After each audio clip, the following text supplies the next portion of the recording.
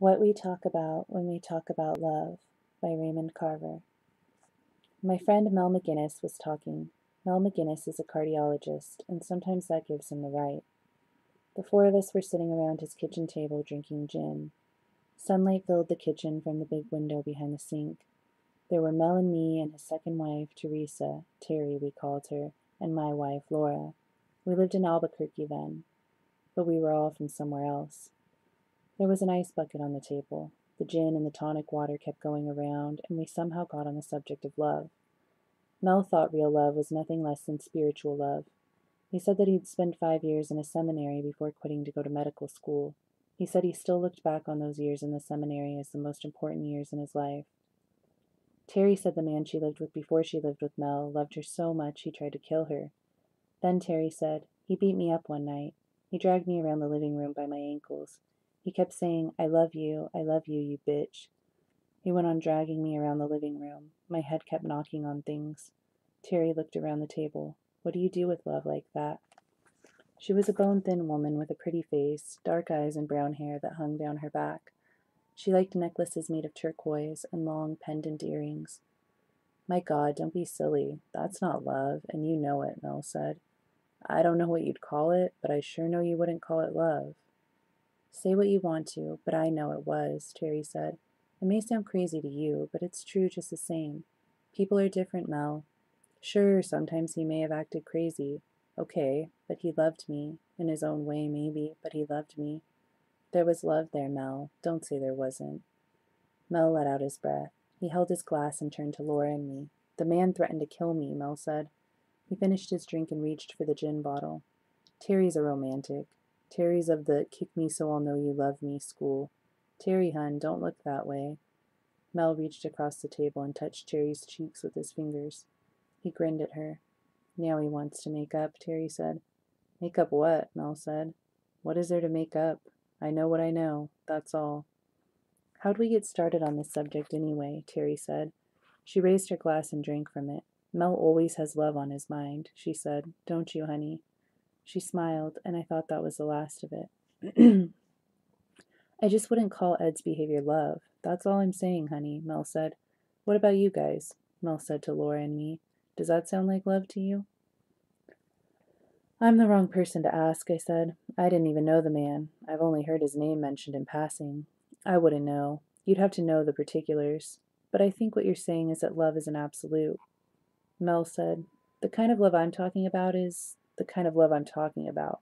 You don't try to kill people. Laura said, I don't know anything about Ed or anything about the situation, but who can judge anyone else's situation?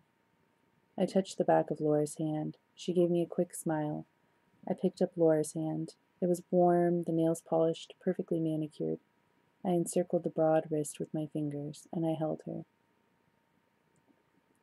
When I left, he drank rat poison, Terry said. She clasped her arms with her hands. They took him to the hospital in Santa Fe. That's where we lived then, about ten miles out. They saved his life, but his gums went crazy from it. I mean, they pulled away from his teeth. And after that, his teeth stood out like fangs. My God, Terry said. She waited a minute, then let go of her arms and picked up her glass. What people won't do, Laura said. He's out of the action now, Mel said. He's dead. Mel handed me the saucer of limes. I took a section, squeezed it over my drink, and stirred the ice cubes with my finger. It gets worse, Terry said. He shot himself in the mouth, but he bungled that too. Poor Ed, she said. Terry shook her head. Poor Ed nothing, Mel said. He was dangerous. Mel was 45 years old. He was tall and rangy with curly soft hair. His face and arms were brown from the tennis he played. When he was sober, his gestures, all his movements, were precise, very careful. He did love me, though, Mel. Grant me that, Terry said. That's all I'm asking. He didn't love me the way you love me. I'm not saying that. But he loved me. You can grant me that, can't you? What do you mean he bungled it? I said. Laura leaned forward with her glass. She put her elbows on the table and held her glass in both hands. She glanced from Mel to Terry and waited with a look of bewilderment on her open face, as if amazed that such things happened to people you were friendly with. How'd he bungle it when he killed himself? I said. I'll tell you what happened, Mel said. He took this 22 pistol he'd bought to threaten Terry and me with. Oh, I'm serious. The man was always threatening. You should have seen the way we lived in those days, like fugitives. I even bought a gun myself. Can you believe it? A guy like me? But I did. I bought one for self defense and carried it in the glove compartment. Sometimes I'd have to leave the apartment in the middle of the night to go to the hospital, you know. Terry and I weren't married then, and my first wife had the house and kids, the dog, everything, and Terry and I were living in this apartment here. Sometimes, as I say, I'd get a call in the middle of the night and have to go to the hospital at two or three in the morning. It'd be dark out in the parking lot, and I'd break into a sweat before I could even get to my car. I never knew if he was going to come up out of the shrubbery or from behind a car and start shooting. I mean, the man was crazy. He was capable of wiring a bomb, anything. He used to call my service at all hours and say he needed to talk to the doctor, and when I'd return the call, he'd say, Son of a bitch, your days are numbered. Little things like that. It was scary, I'm telling you.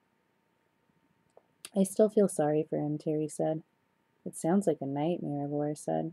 But what exactly happened after he shot himself? Laura is a legal secretary. We'd met in a professional capacity. Before we knew it, it was a courtship. She's 35, three years younger than I am. In addition to being in love, we like each other and enjoy one another's company. She's easy to be with. What happened? Laura said. Mel said, He shot himself in the mouth in his room. Someone heard the shot and told the manager.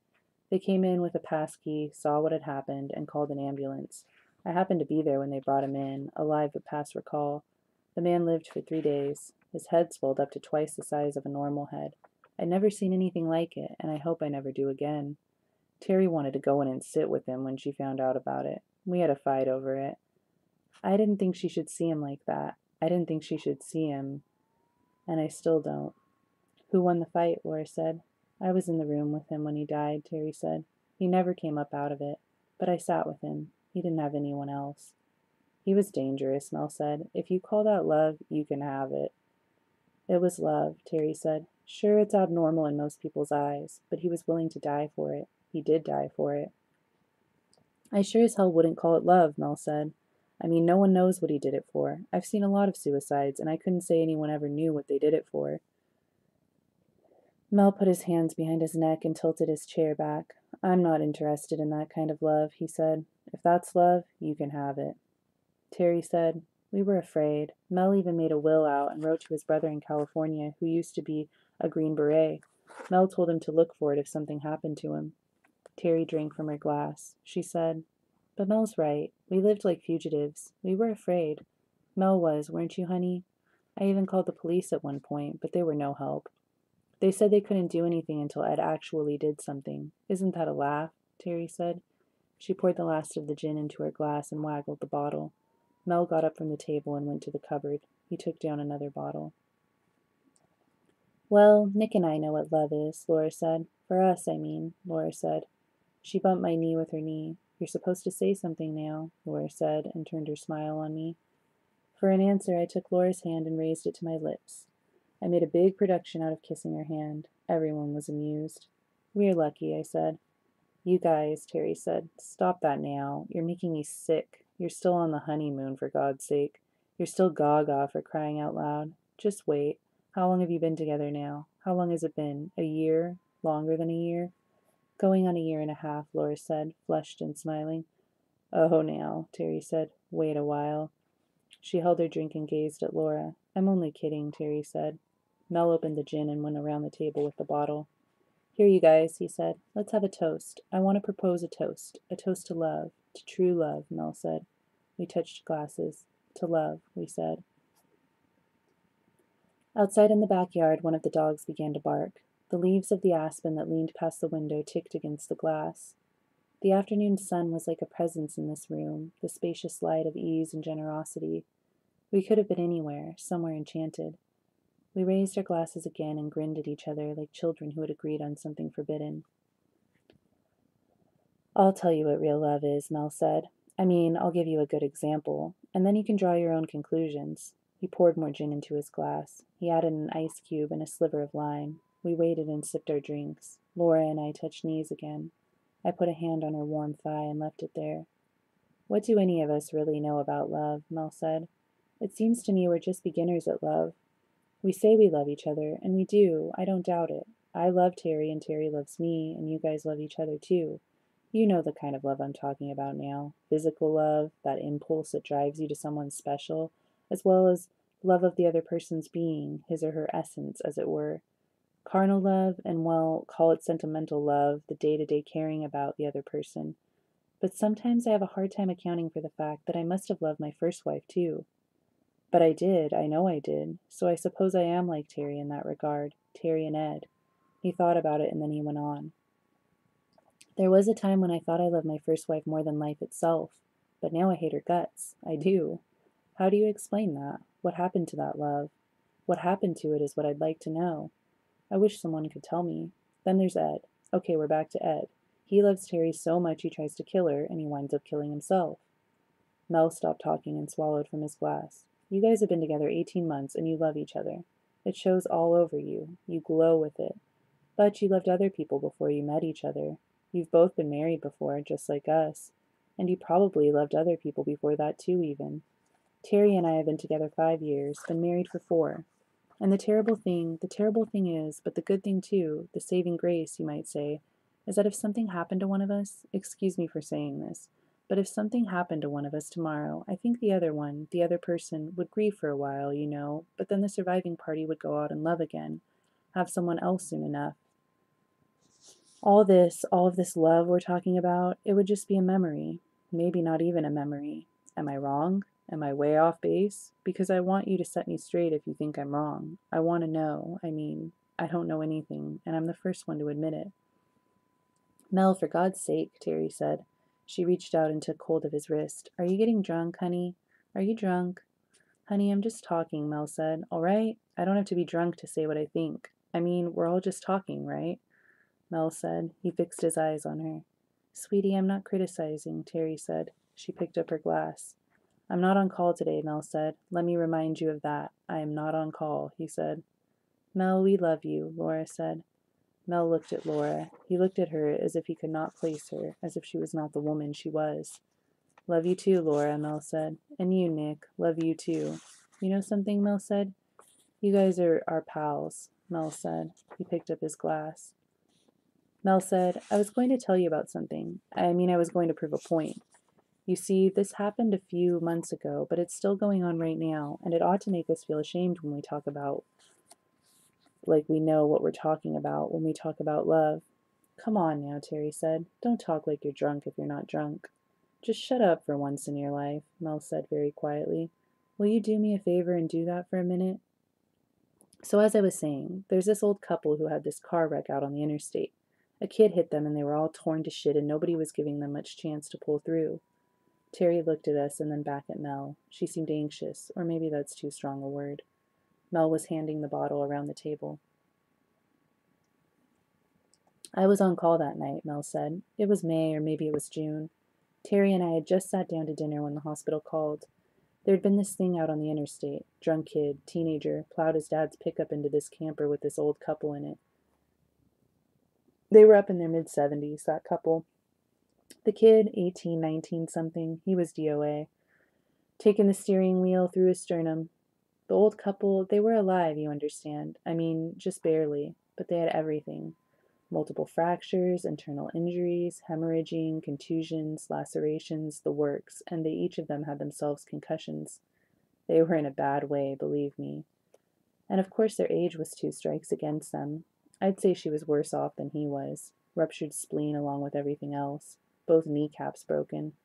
But they'd been wearing their seatbelts, and God knows that's what saved them for the time being.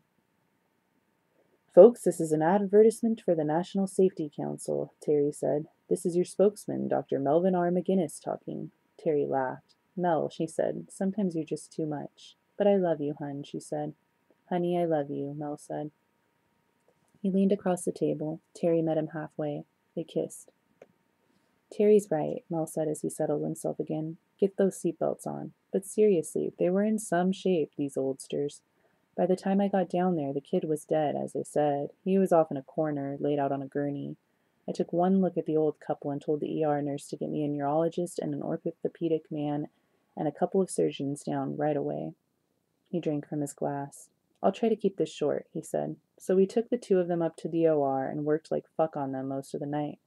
They had these incredible reserves, those two. You could see that once in a while.